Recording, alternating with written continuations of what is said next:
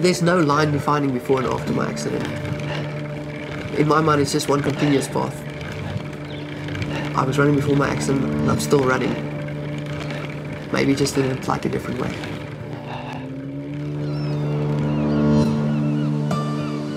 Number of days in ICU 42, number of days on a ventilator 32. Fastest time for getting dressed is 2 minutes 41.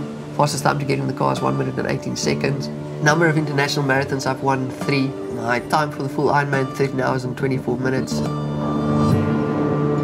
It's now been 10 years and 6 months since I became C6 quadriplegic.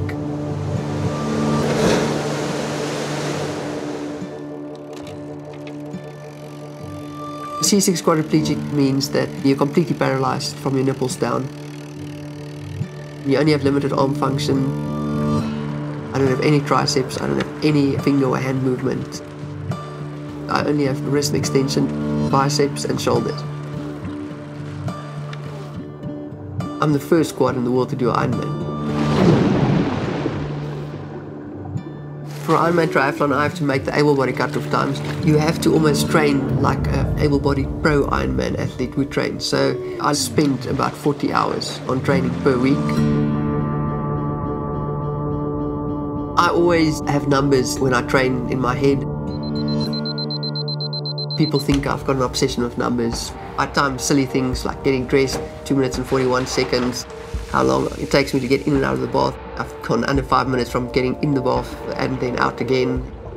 Time myself getting out of the car and up the lift to my work office.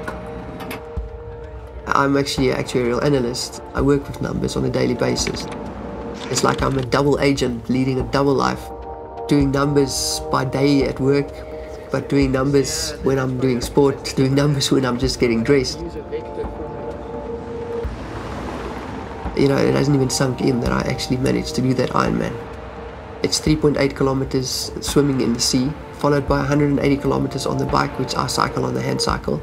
And then it's a full marathon running, which is 42.2 kilometers, and I do that in the racing chair.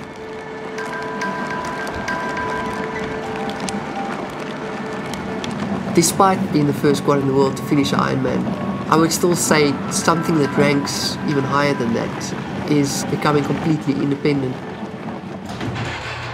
I'm one of the fortunate few that has the sports structure and financial means to be able to carry on and live a full life, a quality life. You know, there's been a lot of research in spinal cord injuries and finding a cure for it. The big reason that I would like to see a cure is not for myself. It's actually for the other guys out there. I see how they struggle with depression for years. Some never get over the fact that they're in a wheelchair. It saddens me to see those guys, and I hope that I'm an inspiration for them. In the end, you know, if there's a cure for spinal cord injuries, you know, that will just fix everything.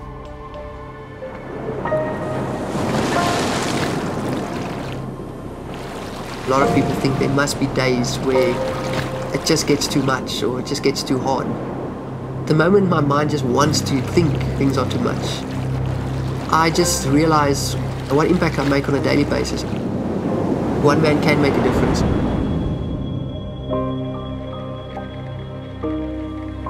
I often get told, you know, that I got a second chance at life. I disagree with that. In some cases, I actually feel like I was born to be a quad. The day my accident happened, there was no mistake. I made certain choices on that day that got me at the exact time and place for that car to hit me and me breaking my neck. I don't look back because it is what it is. And I'm hoping the way I'm living my life now as a quadriplegic uh, is an inspiration um, to all out there. You know, for me, this is not the end and neither is it the beginning. I'm still following the same path.